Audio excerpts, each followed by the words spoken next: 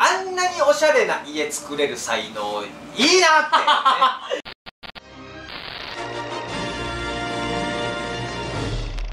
おまけの夜でーす。はい。なんでなんて？言ったあったあった あ言語じゃなかった。はい。言葉だと思ったら。はい、えー、私が映像作家でおまけの夜の一かき沼です。私が映画チンピラジャガモトの斉藤です。よろしくお願いします。お願いします。はい、このチャンネルは深夜のファミレストークのひらめきがテーマのカルチャートークのチャンネルでございます。はいえー、一本でも映画が好きな好きと言っていいチャンネルでございますので、はい。映画が好きな人もいればね、えー年間に1本や2本しか見ないという人もねたくさんいると思います。はい。それでもね面白い映画があれば面白いと言っていこうというチャンネルでございますので、はい。みんな仲良くやっていきましょう。お願いしまます。そして今回取り上げる映画は、花束みたいな恋をした。でございます。まあさっき実はその本気の印を見てね、はい。えー感想を取って。撮ってで同じまあラブストーリーということで、うん。花束みたいな声をしたを見て見て。ちょっと2人だとちょっとまとまらなかったんですよねそうです。話が、はい、今回ちょっとね、あの一緒に見たいということでついてきた若者がいまして、うん。はい。で彼らとちょっと少しだけお話しさせてもらって、はい。なるほどと、自分たちの中でもね、うん。まとまってくるものがあったので、はいまずシンプルに第一印象、はいはいはいはい。シンプルに第一印象で言うと僕は、うん。やっぱもう34のおじさんなんで、はいはいはい。まあね結構絶賛じゃない？うんうんだからなんかねどんでん返しがあんのかなとか、はいはいというのもこういうサブカルものみたいなあるじゃん、はい。ポップカルチャーを取り上げた、まあモテ期みたいな、はいはいはいはい。みたいなものもあるし、うん何よりも自分の恋愛自体も、うなんかもう5週ぐらいしてるわけですよ、まあまあ自分の恋愛時代ね。年齢経験的にね、そう、だからあのなんだろうな正直あんまり真新しさみたいなものとか、はいはいはいなんか新しい何かみたいなものは感じられなくて、はいはい。あれこれずっと振りを見せられてんのかなみたいな。どこで裏切んだろうそう、みたいな感じかなと思ったら割とドストレートにそういう映画だったじゃない。そうです。だから若い頃思い出す、ん。まあ、あるあるというか恋愛のあこういう感情あったな、こういう状態あったなっていうのが結構まあ続く感じでそう。そこからまあ本気の印をさっき見ちゃったっていうのもあるかもしれないけど、まあそうねそのどっかでガッみたいな、うなんかあそっち行くんだ、うん。みたいなことではあまりないっていう映画ではありましたね。大絶賛みたいな人たちほど正直乗れてなかった、そこまで温度高くなく。でもねちょっとやっぱ若い人と喋っていく中で、うあのやっぱこれって初恋の話んうん。じゃない。だから僕は今30歳なんですよね、はい。30歳で見た時にもうそれもカッキーが今言ってたのもあるし、好きになって、告白をして、でこうドキドキしながら手をつないだり、うん。チューをしてみたいなことを久しくまあないというか。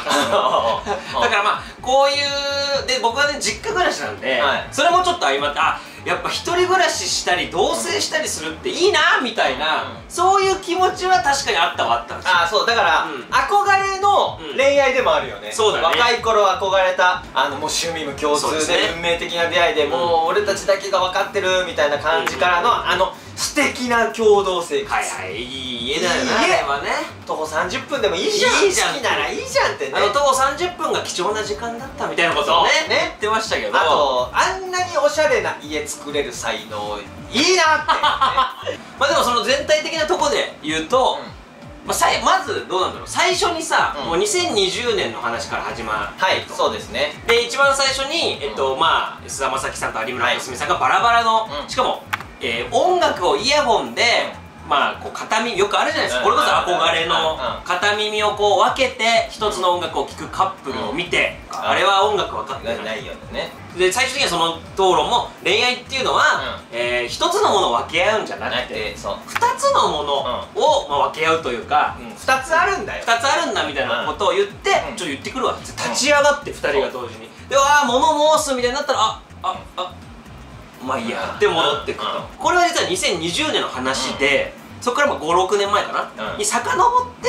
ここに至るまでに何があるのかというふうな展開になっていくといううん。作りそう。ですよね、あの最終的に別れちゃうじゃない。ですか、はい。破局しちゃう物語なんだけど、主人公たちがこの共通の趣味で語り合ってるんだよね。そうだね最初の頃特にね。そうそうそうそうそう。でその共通の趣味を2人で分かち合う。うん、うんそうやってあの楽しみを2人で分かち合うことが、あの恋愛だとうん。うん思っていたんだけど、実際は彼らはずっと最初から間違ってたそうだね。話なんだなそのと思って。考え自体がちょっと幻想というそう。か実は間違ってた、はい。なぜならそのダムの映画を見た最後にね観覧車の中で話してる時に、うん。ダムの映画をはいはいめっちゃ眠かったと、うんうん。途中で寝ちゃっでたとこね。あの菅田将暉は、うん。ミイラのやつは引いてたと、はいはいはい。つまり2人一緒に見れてるようで見てなかった結局は2人とも違うものを見てるし2つあったんだよね、うんうん。それを2人で1つを共有することがお私たち仲いいよねって思ってたけど実は全然違くって、うん。だから最初からずれてた。ずれてる、うん。でそれが象徴的決定打になるのが、うん。あの先輩の死亡死のはいはいはいはい。シークエンスで、それがトリガーになるわけだもんね。そうそうそうそう、んんん。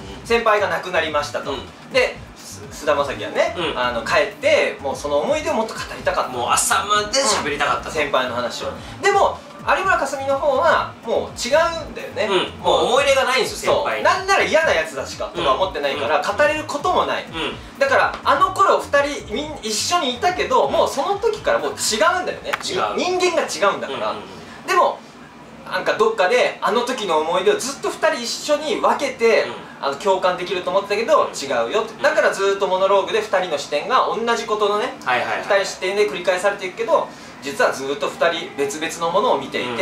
えー、2, 人二人の恋愛がそこにあったっていう。っていうことなんだよね。そう。うん。そもそも違う人間でうん。価値観全く同じなわけないんだからでも多分そのミイラ店あい行きたい行きたいって言ったり、あのー、なんだっけガスのね、うん。あれをあ私見たいって興味をあるように見せてるのはそれがいい恋愛だと思ってたからそう見せてるわけですもんね。趣味を見てる。例えば2人で同じ漫画を見て感動してそれで楽しい時間を共有できたら確かに幸せだし、うん。2人の映画を見て同じように感動できたら確かに幸せなんだけどでも実はそれってずっと向かい合ってないんだよね2人が、うんうんうんでこの主人公2人って結局最後まで大きい喧嘩をすることがなく、はいはい。ちょっと喧嘩をしたなと思ったらすぐ謝ってごめんって言って、あの本当の問題解決まで至らないのね喧嘩が、避けてるよね喧嘩をね。でこれは2人ともいいやつだし2人とも優しくて、うん。特に菅田将暉なんかすごい有村架純のことを思ってて、菅田将暉が頑張る理由ってこの生活を守ろうとするっていう。維持するというそうね。現状維持というね。それがすれ違いになっていくけど、うん。でも傷つきたくないからさ、お互いに。喧嘩とかでね。だからその傷つかないところで謝って喧嘩が終わっちゃう、であの趣味の話とかしちゃったりとか、はい。何が好きなのとか言って、結局お互い向き合わず、うん。違う話をしてしまう。かつて憧れた2人のカップル像という幻想にまた戻ってくるんでもそれもも今思ったらそうだよね。だから最初告白する時もさ、あパンの話6枚切りがいい8はいはいはい。枚切りがあ違う。こっちの話じゃない、うんうんだからその趣味の話をしてる時は確かに楽しいけど、うんうん向き合う時っていうのはちゃんと告白するんだとか、そうだね。大事な話をしようっていうのが実は大事で、そうだね。しかも告白の時ちゃんと向き合えてないですからね。ああそうだスマホ越しで言ってるあ確かに。そう。スマホお互いスマホ越しでうん。パンあのうん。パフェを取りながら目を合わさずに言ってるから、うん。確かに。そこからもうある意味その幻想を見てんだよね。そうそうそうそう。ねで別れん時にやっと向き合うんだけど、まああれもねその俺の好きな筋肉少女隊のね、はい。あのサンフランシスコっていう曲がありまして、うん。あれでも歌われてるんですよ。僕ええ。大学生の時聞き返したんですけど、うん。えっとその綱渡りサーカスが来るとうん。2人ドキドキして、うああ僕らまだやれるって思い違いをするっていう。なるほどなるほど。はい。そう綱渡りを見てドキドキしてお互いドキドキして、はい。はいああ私たちまだやれるわ、うんうんなこんなに楽しいんだもんって思い違いをするっていう歌があるんですけど、まさにそれだったりでございますね。そうそうそうそうまあそういったこともあったりしてですね、はいはいはいはい。まあまあ往々にして初恋っていうのはうん。うんああいう風にうん。なりがちなんですけど、うんうん。その学生の子たちとかと喋っててうんうんやっぱ喧嘩までいかないって言ってました言ねってて、なるほどなと思ったんですよ。でもやっぱ思ってることしっかり言い合って確認し合って何が嫌でって、うん。で最初にさ白いジーパンが嫌です、はい。で僕はなんとかが嫌ですとうののね。か言ってるけどね。うんあれを本当はずーっともっと真剣にちゃんと話し合っていかないといけなくてもう要はあそこをもっと突き詰めて進めていかなきゃいけないところだったってことですよ、で生活するってことはうん。向き合うことだから、うんうん。共同生活するとね、うんだからただあの趣味に話しちゃうんじゃなくてお互いの嫌なところもみんな見るし、うんえー見見たくないところもいっぱい見てでもそうやって向き合って共有して、うん。えー、と協力し合っていくのが生活なんだよね、であのそういう意味ではあの二人っていうのはすごいいいやつらだから、うん。全然未来の可能性はあったと思うんだよそうですね、うん。ただちょっと怪しかったのはやっぱりその就職先がやばかったじゃない。はいはいはい須田君。まああるあるかもあるあるあれも多分その新入社員のあるあるなんだろうけど、嫌な先輩は、うん。あの嫌な先輩存在いたでしょ？はいはいはい。写真館の。一緒にねいた。うん。うんはいはい先輩ね。であれがやっぱ何なのかなって、うん。どういう存在を意味してんのかなってやっぱこう考えた時に、あの先輩が自分の彼女にこう水商売やらせたり、あわよくば自分の彼女ね、うん。有村架純さえそっちの世界に連れて行って紹介するぞみたいな言ってましたからねお店なんて言ったんだっけその後。なんかモラルとなんだっけ？あえっ、とね協協調性と社会性は才能の敵だぞって言ってみたいなことを言うのよで菅田将暉はその先輩を見て、うん。自分の彼女をそうさせたくないから、うん。やっぱ働くわけじゃんいやそれまではイラストでなんか食おうとか言ってたけれど、うんそれ続けていくとこの先輩みたいにうん。やっていかなきゃいけないんじゃないかと、うん。そう。これはまずいと、うん。そうやって水商売やらせるような自分にはなるなるわけいかないから、まあ働く。これはもうね愛よ。そうですね。まあ一種の愛ではありますよね。だからねすっげえいいやつなんだけど いいやつなんだけど、うん。こう仕事で追い込まれてった時うんに、後輩にね書類をパッてはいはいはい。投げかけ投げかけるのよね。大変っすね。そう。舐めたな口を裂いたね。うん。何他人事なってたってはい感じでね、ギリギリだったよそうギリギリだったでしょあんな声がお疲れですって出ていかなかったらやばかった。投げつけてたかもしれない、でそうやって人ってこれまあ菅田将暉だけじゃなくてもやっぱ怒りをこう溜め込んでさ、うんうん。こう出てしまいそうな瞬間ってあるわけじゃん、ありますね。はい、で考えた時にやっぱりあのまま続けてたら、うん。どっかで手を挙げてたかもしれないから須田君背が高いからこの高低差でなんかい暴力性を感じる隙間もありましたからね、うん。ちょっとね。でもちろん根がいいやつだから本当はそんな人じゃないんだけど、はいはいでもその先輩っていうダブりがあって、はいうん。ああちょっとやばいなっていうのはあったりしたからそうだね。で別れてからうんその回復していくじゃない本来の2人の姿。はいはい楽しそうだもんねあそうねやっぱ恋愛してたから、うん恋愛を関係切ったら、うお同じ趣味で同じものを見ていける、同じ方向を見ていける、うん。そうやって自分の本来持っていた好きなものとかを取り戻してってどうも楽しそうだと、はいはいはい。別れてからの方がね、だからまあ続かなかったんでしょうね。続かないでしょうね。今話しながら思ったけどやっぱそのか趣味のズレとか、あのなんだっけゴールデンカムイ読んでないとか、うん。ゼルダ一緒にやれないとか、えー唯一共通だった趣味さえずれてくるじゃん、うん。舞台を見に行こうどうのこうのみたいな、うん。でもそのズレってなんとかそれこそ事なかれ主義の2人というか傷つきたくないから、うなんとかごまかしてなんとかなってたんだけど、うん。やっぱ死？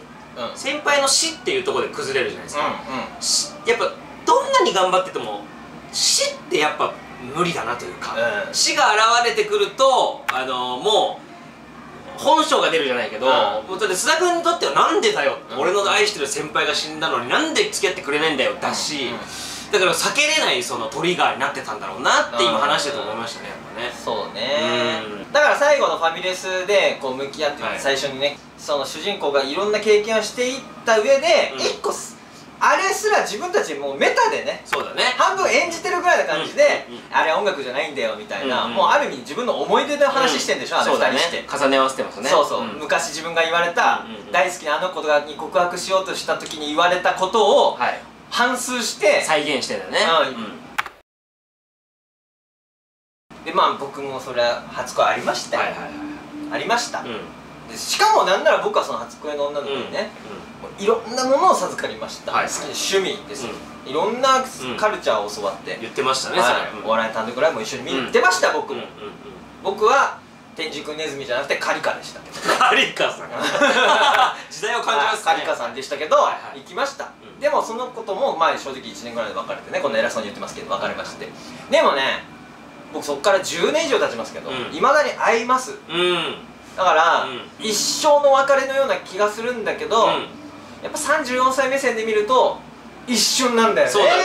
なんかだから、うんわかる。慎吾ちゃん確かによ3年前3年前か、でもこの前のように感じるこの前にもうね感想会したの覚えてるもんね。この前車の中で感そう想会そうもう車の中鮮明に覚えてる覚えてます。相方もいたし。うん。やっぱその差はやっぱ結構だから見る人の年齢層で見え方いや変わる。変わるしやっぱ恋愛ってそれぐらい、まあ、生ものだってね、うん言ってましたね。あんなふぬけた顔の小田切長初めて見ました あれあれ一回浮気しちゃってんのかなとかね。そう思っちゃうけどね。思わせてる感じあったけどね。うん。僕もだって彼女前の彼女が、日本日本映画めちゃくちゃ好きで、うん。僕が見ない映画とかをめちゃくちゃ連れてってくれてたんですよ。でそれでこう映画館に細かい単館映画見に行く癖がついたんですけど、やっぱいまだにこのあれ見たこれ見た、うん。みたいなやりとりやっぱしますからね。いや俺らあるあるかよ。俺らってあるあるなのかよ。やめてくれよ。そう。そう。これだけ言わして最後に。何ですか？あの俺らをあるあるにしないでくれ。その抵抗ね。これがねやっぱ僕モテ期とかこういったカルチャーを扱ったこういうちょっとサブメタ目線で。そうねちょっとメタ的なね。なんかこう、あるよねってあるあるに閉じ込められると、うん。俺はちょっと正直嫌ですそうですね。あ俺が好きだったあれ筋肉少女隊とか、うユニコーンとかいろんなものあるけど俺は別にジャンルで見てねえからってくくりで見てないサブカルだとも思ってないし、うん。ゴジラが好きなのも昔っからただまあゴジラが好きで、うん。うん。一個メタ目線でこの作品として、はい。これが好きな人はこれだよね押井守神だよねとか言われると ねだからまとめないでって。いはい。だからもしあそこにうん。タランティーノとか出てきたら怒ってたよ俺。ちょっともっと嫌だったよね。もっと嫌だったよね。うん。だからその辺の界隈の人はこの辺が好きでしょこの辺のサブカルが好きですようんっていうくくりはすっごい俺も嫌です。ね。すごいわかる。なんかそのあの日の若気の至りみたいなんで語られてる、いやそうそう。だって今もそうそう。やって喋ってんだから。今もゴジラ見てるし。パトレーバーこの前見たよみたいな。そう。なんだよ。30になっても見てるし。あともう一個言いたいのは、うんあのダムじゃないよガス、はいはいはい。ガガスのやつ見に行くとかさ、はいミイラ店で、うん。実は好きじゃなかったよとか言うけど、でも、まあ、これ俺みんなじゃないにしても、うん。俺思うことは、俺みたいな人間は自分が好きじゃないものを好きな人に惹かれるから。わかるでしょ？わかります。うわ何それ？例えば本とかも一緒なことに惹かれるんじゃなくて、微妙にかぶってない感じに惹かれるのよだからうちの本棚とほぼ一緒はあんま良くないですよねそうなんなんか冷めるなんないら。やかぶってもいいんだよ、ん。この丸こここの部分は楽しいけど、うん。でもそこから広げてってあそれもこれもなんだっていう、うん。知らないところを、うなんか欲しいというか。そこの違いが面白いよ、だから交換するんじゃないの？そうだよね、うん。性格とかさ個性だってそう自分にないものがあるかそう。ら勉強になるし、うん。こう刺激になるし頑張ろうって思えるってことだもんね、うん。まあだからこれがまああの子たちがまあ一個のものを分け合うと思ってたっていう話かもしれないね。だから、うんそうだね。お互いに別の人格である、うん。それがすごく素敵であるっていうところに、やっぱり持っていかないとね。わかるわかる。みんながみんな全部一緒な人を好きになるっていうっていうのはちょっとっていうねそのあるあるには入れないでください。はい。こういうチャンネルをやってる俺らだからこそそうそうだよ。もう言っとかなきゃいけないよね。あのおまけの夜見てるよねみたいなジャンルに入れないでください。そこらへん誰も言ってない。入れてないからそこまで行くように頑張りますけど。出てくるかもね、はい。い、ずれね。いずれね。はいはい。はいまあでも本当に今ピンポイントにこれなんですっていう人もいっぱいいると思ういやそうです。それはそうですよ。もちろん。僕は本当にあのもうこう偉そうに言ってるけどこういう恋愛を本当5回ぐらいこすってきたうん。人の感想だと思ってくださいはいはい。はいその時は苦しいんですよ。その基準そうですよ、はい。そのだから当時見てたらまた違ったかも違う。号泣してたかもしれない。10年っていうかそう、う。ん言って言ってそう言ったけど俺あの別れのシーンの俺が菅田将暉だったら俺喋れないぐらい泣いて おえつしたって言ってちょっともううんおえつする。あの本当言葉を喋ろうと思ったらうわーってなっちゃうから喋れないと思う俺菅田将暉だったら。見たくねえなそのかけるあでもこんなレベルじゃない、はいはいあの流れてきちゃうなのレベルじゃない、はいはい。あ これ喋れってなっちゃう。見たくない。やだなということでした。面白かったら高評価、はい。チャンネル登録お願いします。お願いしまーす。えー、あそうでね。うん。これ宣言する。うん。毎週土曜日、はい。頑張って、えー映画感想会上げていきます。おおこれからいいいい発言はい、やっていきますんで毎週土曜日映画のね感想楽しみにしててください。お付き合いください。はい。よろしくお願いします。お願いします。バイバーイ。バイバーイ